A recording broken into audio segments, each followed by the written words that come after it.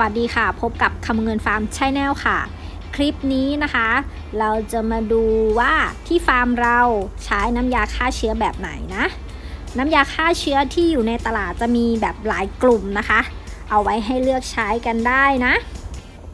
โดยมีกลุ่มที่โชว์ขึ้นหน้าจอเนี่ยค่ะมีพวกกลุ่มโซดาไฟฟีนอลอะไรอย่างนี้นะ พวกฟอร์มาลีนก็ใช้ได้นะคะ หรือพวกกลุ่ม oxidizing agent นะคะ ช่วงนี้กำลังฮิตการใช้แบบนี้นะ แต่ที่ฟาร์มของเราจะใช้กลุ่ม glutaraldehyde นะคะ ซึ่งแบบ 15%นะคะ แล้วก็ทิ้งไว้ 30 นาที ก็ฆ่าเชื้อได้เหมือนกันนะ มีหลายกลุ่มให้เลือกซื้อนะคะ เวลา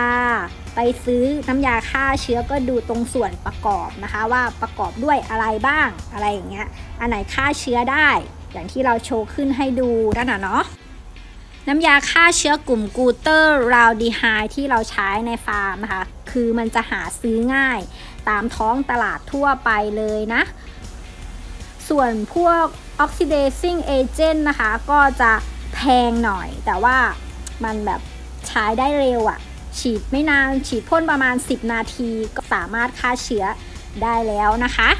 แล้วก็กลุ่มพวกโซดาไฟนะคะ ก็จะหาซื้อได้ง่ายหน่อยในท้องตลาดเนาะแล้วแต่ใครจะหาได้นะคะตามพื้นที่เนาะน้ำยาฆ่าเชื้อกลุ่ม glutaraldehyde ที่เราใช้นะคะ จะใช้แบบ 15%นะ แล้วก็ฉีดพ่นไว้ 30 นาทีนะคะ ถึงจะได้ผลนะคะ อันนี้เราได้มาฟรีนะจากบริษัทนะคะ ก็เลยแบบใช้ให้มันหมดหมดไปเนาะ นี่ เราฉีดพ่นทุกๆอาทิตย์อะก่อนที่เราจะไปนะ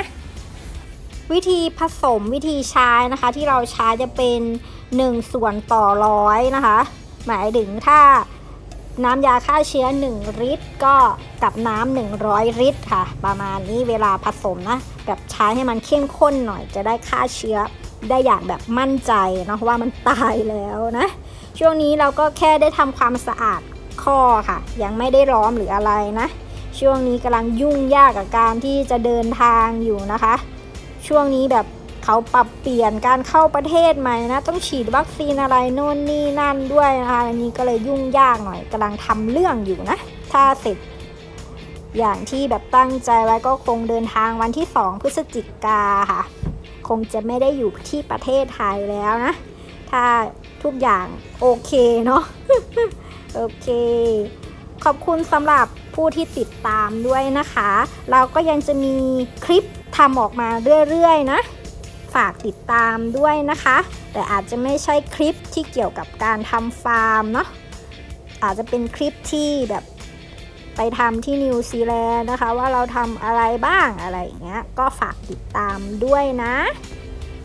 ฝากกดติดตามช่องด้วยนะคะ ที่คำพูเงินฟาร์มชแนลบนช่อง YouTube นะ แล้วก็คำพูเงินฟาร์มเพจบน Facebook ด้วยนะคะ สวัสดีค่ะ